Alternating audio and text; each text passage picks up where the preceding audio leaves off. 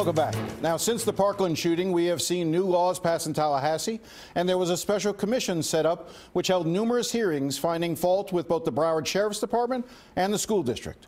Last month, Florida Governor Ron DeSantis removed Broward Sheriff Scott Israel because of his handling of the Stoneman Douglas shooting. And there have been calls to remove Broward School Superintendent Robert Runcie. Joining me this morning to discuss what has happened over the last year and where things are likely to go is Scott Travis, who covers the Broward School District for the Sun Sentinel. Uh, Scott, thank you very much for coming in. Thank you for so, having me. So let's talk about. There seems to be renewed energy. It died down for a while to try to remove Robert Runcie. I think it even picked up when Scott Israel was removed. Like attention then shifted to him. Where do you see Robert Runcie? How does he stand right now? How does he fare in terms of his support on the board? Well, I think one of the game changers that's happened recently has been the election of Lori Alhadeff, who is one of the, uh, whose daughter Alyssa died in the tragedy. So she came onto the school board as a very sympathetic figure. There's been a perception, at least, that uh, Mr. Runcie has not treated her very well. Uh, he wouldn't let her have the secretary that she wanted. Uh, she, he wouldn't let her put certain items on the agenda that she wanted. And uh, I think that has caused a lot of outrage um, there because it seems like it's viewed that there's a power struggle going on with uh, Mr. Runcie and his supporters still trying to maintain control. There's a faction of the school board that supports Robert Runcie. There's a faction that seems opposed to him, and there's several members who are caught in the middle and trying to figure out how to resolve this issue. The, the, the question that I've had about Robert Runcie is, is is different than the ones I've had about Scott Israel. Scott Israel was almost sort of like a competence issue and, and whether or not he really understood what was going on in, in his in his department. Whereas with Robert Runcie, I think he's a well-intentioned person, but I think the bureaucracy sometimes gets the better of him, and he doesn't seem to move with a sense of urgency. And there was a moment during the Stoneman Douglas Commission hearings back in November where they were talking about the issue of hard corners. You know, these these sections of, of classrooms that were supposed to be delineated, where if somebody was shooting into a classroom, the children would be safe behind these hard corners. And clearly, something was going wrong in terms of how they were being implemented. I want to play that sound and then get you to react on the other end.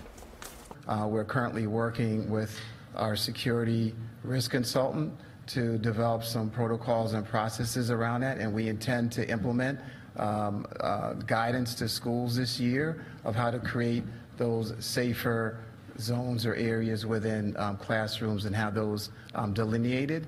I don't understand why, and again, today you said you're going to give guidance. I mean, it just doesn't make any sense to me. If kids died in that room because the teachers did not make a safe space, why not do it? The facts are the facts. Is is that there's a, at least one student who died on the line. Yeah. There are others who couldn't get into those, and um, I'm going to ask you to create a policy, not a guidance, but a policy that mandates that the schools under your direction have a hard corner so that these kids can be safe. See, that to me, that was nine months after the shooting, mm-hmm. and this still hadn't been implemented to create these safe spaces within classrooms. And the superintendent was talking about implement a guidance, mm-hmm. you know, to the district. And and I think he comes from it from a bureaucratic standpoint, and whether it's this or holding individuals accountable within the school district, there doesn't seem to be that sense of urgency. And I think that's what's been doing him in more than anything else. Your thoughts? Well, one of the issues with the hard corners was that they had a security consultant that actually recommended that they not do that. So that was sort of the guidance that they were getting. They felt that maybe if you had a line there, that it was viewed as a kill line and that you couldn't always ensure that it was the right spot. And not every classroom has a safe corner at all. So there were problems there, but one of the problems that Mr. Runcie had is he he didn't seem to come across as really being definitive as what the answer was. He kind of came across as wanting to please the uh, people that he was talking to.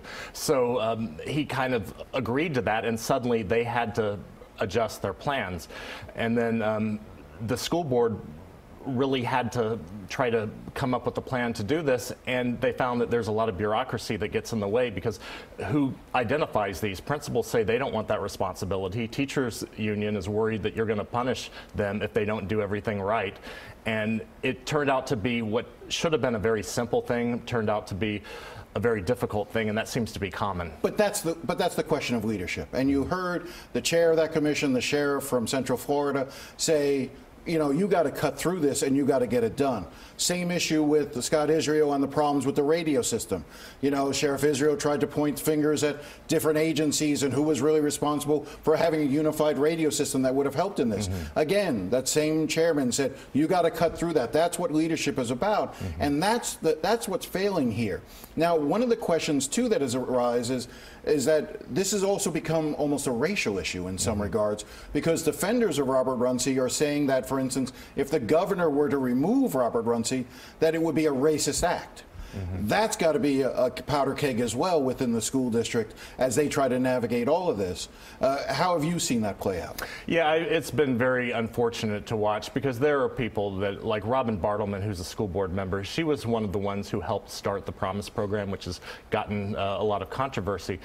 But uh, she's always been a champion for minority students, and Nora Rupert has been one as well, and they are being accused of being racist. So it's, it's unfortunate because their point of view and, and, I think that a lot of folks believe that if this were Jim Nott or if this were any of the uh, Till, previous, right. previous superintendents, that the issues are the issues. It really doesn't have anything to do with race, but it's hard to separate that. And, and probably there are some people on the extremes that you can tell in social media that are racist. So you've been you've been covering the story from the very beginning.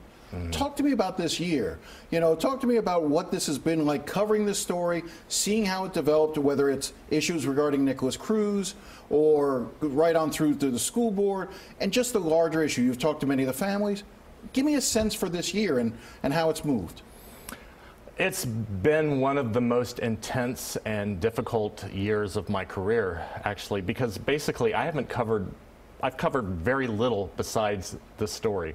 So day in and day out, uh, I've been faced with it. And I mean, it's nothing compared to obviously what the families are going through, but it still has been, um, it's been very difficult. And I, am very close with a lot of the families. I've been talking to, to them, and, and I hear their constant frustration, not just their extreme grief about what happened, but their frustration that they just can't seem to get anything done in the school district, and that's really been difficult. And I know that the Sun Sentinel has had an extremely difficult time to just get the school district to release basic information and to be transparent and to you know tell us exactly what happened and to not try to always spin things to uh, make it look the best for you, but just kind of be honest with us. I, I want to play you something that's a little difficult.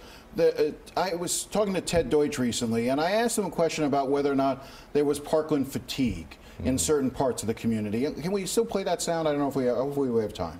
Let's play. I'm, I'm not sure who's saying that. Are they saying that in Orlando, where they're still suffering with pulse? Are they saying that in Jacksonville, uh, where there was recently a shooting? Are they saying that in Sebring? Are they saying wh- where are they saying that? The fact is, there continues to be uh, gun violence that plagues our state and our country. Uh, it's not, and, and the, the really incredible thing about the Parkland families and about the, the students is that they all understand this is not about this is not about Parkland. This is about keeping our kids safe. This is about making sure kids don't get shot when they're walking down the streets. This is about much more than just one school. Do you get that sense, though? I, I, I get his indignancy at the notion that anyone would be frustrated with this or, or fatigued by this.